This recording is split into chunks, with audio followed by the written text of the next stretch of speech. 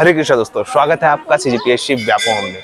और आप लोगों के लिए बहुत ही शानदार न्यूज़ है, खासकर जो सी जी सेट एग्ज़ाम दे रहे हैं, क्योंकि सेट एग्ज़ाम आप सभी जानते हैं कि व्यापम ने नोटिफिकेशन जारी कर दिया और उसमें 21 जुलाई जो है इसका डेट फिक्स किया है। बहुत सारे अभ्यर्थी चाह रहे थे क्योंकि 7 जुलाई को सी सेट का एग्ज़ाम है, जिसकी वजह से बहुत सारे अभ्यर्थियों ने व्यापम को जो है तारीखों का बारे संबंध में पोस्टपोन अभ्यर्थियों की अभ्यर्थियों की भविष्य को ध्यान में रखते हुए उसको 21 जुलाई को रख दिया मतलब अब आप लोगों की पिक्चर पूरी क्लियर हो चुकी है। आप जो व्यापम की प्रवेश परीक्षाएँ और भर्ती परीक्षाएँ दोनों जो है, वो 21 जुलाई तक कंप्लीट हो जाएगी।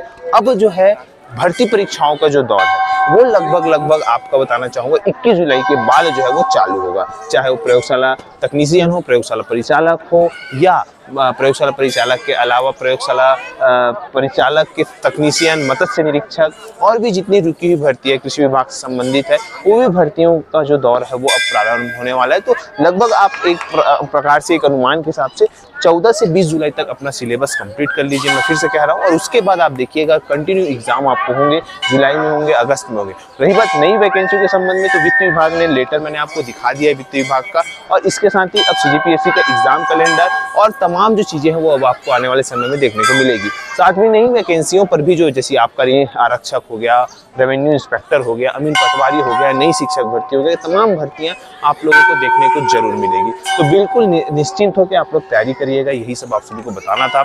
आशा करता हूँ कि वीडियो अच्छा लगा। वीडियो अच्छा लगा तो इसे ज़्यादा से ज़्यादा शेयर करें लाइक करें सब्सक्राइब ज़रूर करें। वीडियो देखने के लिए आप सभी को बहुत बहुत धन्यवाद। आप सभी स्वस्थ रहे, मस्त रहे और पॉजिटिव रहे।